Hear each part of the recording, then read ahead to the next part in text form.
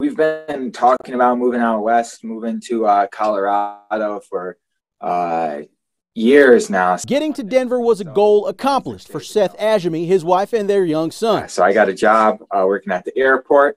Um, so I was uh, beginning of this week. We were looking for an apartment. He says his wife is a nurse and looking for a job in town herself, inching ever closer to settling down. Most of their belongings packed in this trailer, which Ajami parked outside of his brother's home in RiNo. We had it out parked um, on the corner and I had the wheels chained up. I had everything locked up. When he went outside to check on it Saturday around 1 in the afternoon, Ajami says it was gone. First thing I did was I said, hey, well, maybe what happened was for some reason the trailer got impounded. That cautious conclusion would eventually become confirmation of something worse. The trailer was stolen. I found the lock on the ground from the trailer, so somebody had came and cut the locks off. A report was filed with Denver police, but Ajami says he isn't sure why anyone would want his family's household items. Our clothes, our kitchen stuff, all of that that random stuff that just adds up, but uh isn't really worth much to someone else. So, uh,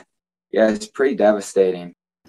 Now, to add to their devastation, Ajami says he's a mechanic by trade, so his tools were also in that trailer. Anyone with information about their trailer is asked to call police in Denver. In the newsroom, Rogelio Mares, Fox 31.